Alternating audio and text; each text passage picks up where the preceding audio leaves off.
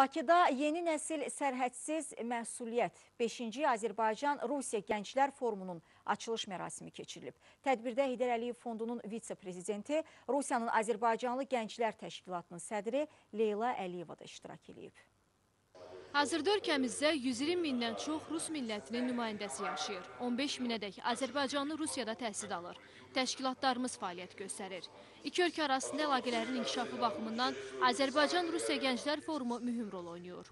İki e, gənclər təşkilatların, gənclərin ümumiyyətlə dostluğu, müxtəlif layihələrdə bir, birgə bizim iştirakımız.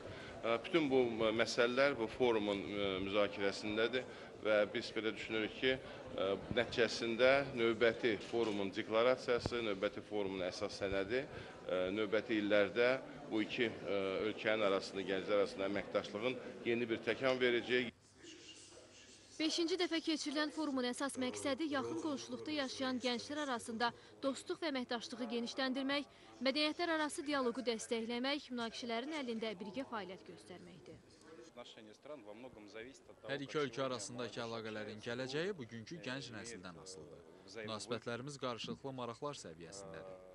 Deyə bilərəm ki, Rusiya və Azərbaycan gəncləri arasındakı əməkdaşlıq, dostluq bağları tarix əsaslanır.